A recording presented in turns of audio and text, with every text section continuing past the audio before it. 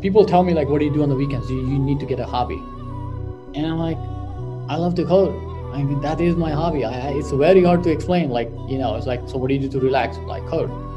What do you read? Like, I read technical stuff because I like it.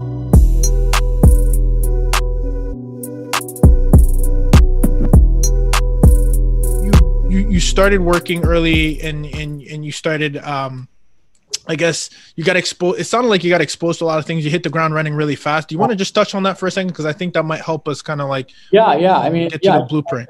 yeah. That's a that's a that's a good question. So, I started as a junior programmer in this startup, right? And and I was mentored by the right people.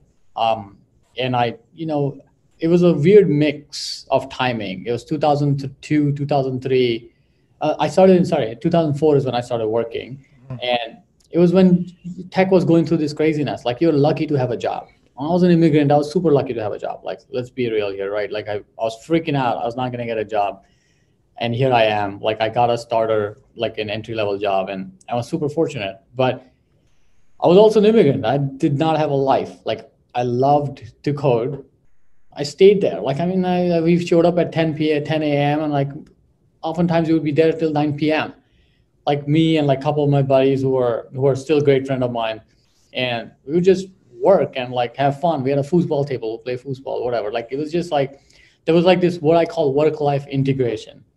It wasn't work life balance. It was work life integration because we, we didn't know we were working when we were working because it was so much fun. Like it was never work for us. And it mm. still is today. Like i am never working right? Like i'm always just doing what i think is natural people tell me like what do you do on the weekends? You, you need to get a hobby.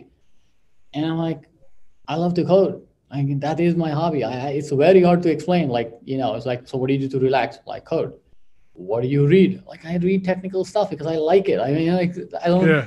i don't have other things. So not sure if i'm answering your question but i started like as a junior programmer. I rose through i was promoted multiple times Thank you for watching another video brought to you by my team at Invested Talent.